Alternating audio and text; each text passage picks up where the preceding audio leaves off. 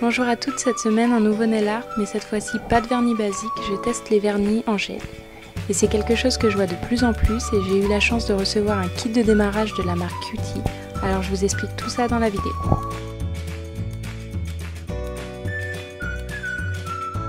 Pour commencer, il faut avant tout nettoyer vos ongles. Alors moi j'utilise leur lingette, mais vous pouvez très bien prendre du cleaner et un coton qui n'aisse pas de résidus ou bien du sopalin et il faut simplement qu'il n'y ait plus de poussière ni de gras sur vos ongles avant de commencer.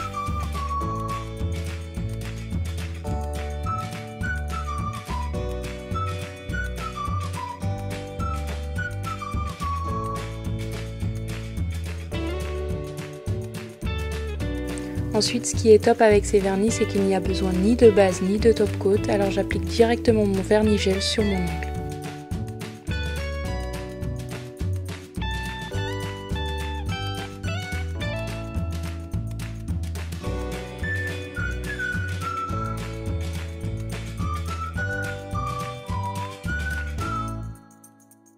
Puis je les passe un à un sous la lampe pendant 30 secondes et j'applique ensuite une seconde couche pour rendre la couleur plus opaque.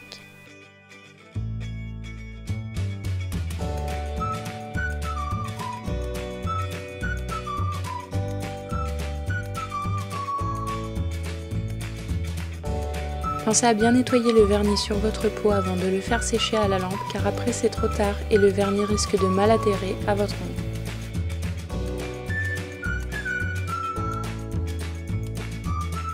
Une nouvelle fois sous la lampe et c'est vrai que la lampe est très petite, on ne peut faire qu'un doigt à la fois, mais le vernis sèche très vite alors c'est relativement rapide.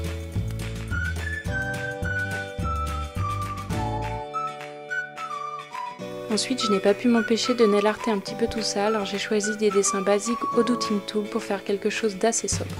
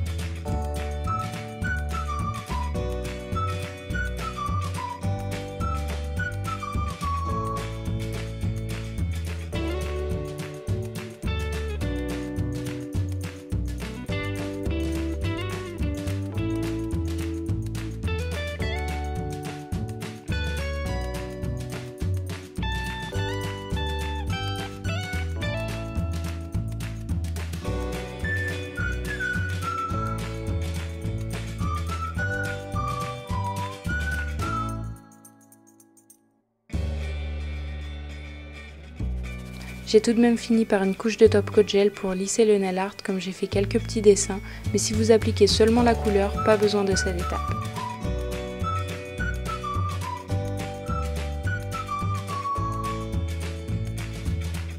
Et toujours un petit tour sous la lampe pour sécher et voilà, c'est terminé.